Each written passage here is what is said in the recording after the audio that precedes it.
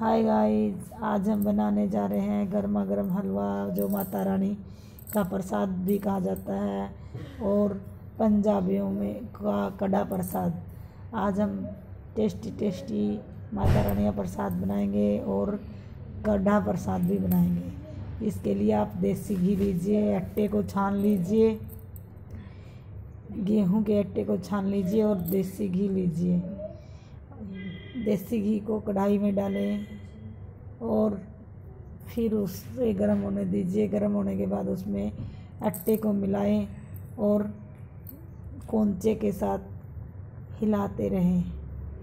अच्छी तरह से हिलाते रहें। जब तक अट्टा न सीख जाए, तब तक आप इसी तरह से इसे हिलाते रहें।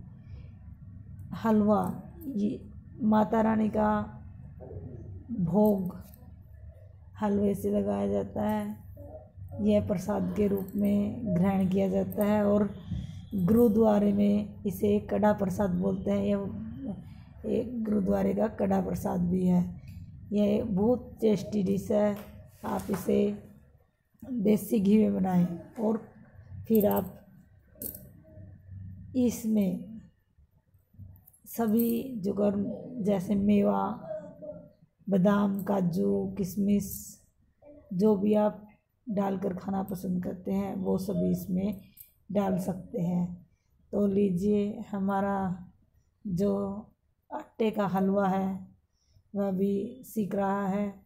तब तक सेके और गैस को मीडियम रखें और तब तक सेके, जब तक यह अच्छी तरह से न सीख जाए, इसमें से हल खुशबू आएगी, हलवे का आटा सीखने की, हलवे जैसी खुशबू आनी शुरू हो जाएगी और आटा सीख के लाइट ब्राउन रंग का हो जाएगा। तो आप इसे मीडियम गैस पर सेकते रहें ताकि हमारा जो हलवे का प्रसाद है, माता रानी का प्रसाद है, वह बहुत अच्छा और स्वादिष्ट बने। और हम घर पर भी माता रानी का प्रसाद और कड़ा प्रसाद का स्वाद चख सकें तो इसलिए हम आज आपको हलवा बनाने की विधि बता रहे हैं। आप इसी तरह से इसे भूनते रहें। गैस को मीडियम रखें। कोंचे को छोड़कर कोई और काम नहीं लगना, क्योंकि अगर हम कोंचा नहीं मारेंगे तो हमारा नीचे से जो आटा है वो जल जाएगा और आधा कच्चा रह जाएगा, आधा जल जाएगा। इसलिए आप कोंचा लगातार चलाते रहें। फिर ये देखिए, हमारा आटा लाइट ब्राउन रंग का हुआ है। अब आप एक पतीले में एक गिलास या जितनी क्वांटिटी में आप पानी गर्म कर लीजिए। गर्म करने के बाद पानी इस सीखे हुए आटे में डाल दीजिए। ये देखिए, हमने गर्म पानी इसमें डाल दिया और कोंचे के साथ हिलाते रहें। जब तक ये अच्छी तरह से न बन जाए, तब तक आप इसमें पानी डालें और थोड़ा थोड़ा पानी डालकर इसे हिलाते रहें। जब यह लगने लगे कि हलवा सही बन बन गया है और दिख रहा है तो आप इसमें पानी मत डालें। अगर आपको जिस तरह का हलवा चाहिए, उसी के हिसाब से आप पानी डालें इसमें। अब आप इसमें चीनी ऐड करें।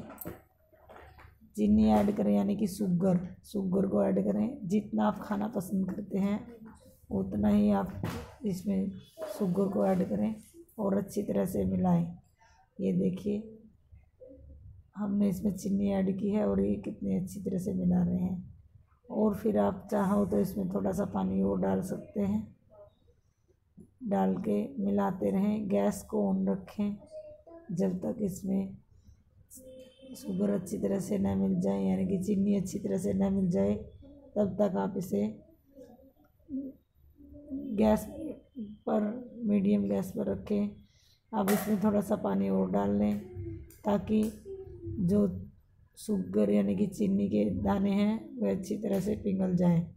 ये देखिए, हमारा हलवा बनकर तैयार हो गया है। अगर आपको हमारी रेसिपी पसंद आई हो तो सब्सक्राइब करें। धन्यवाद।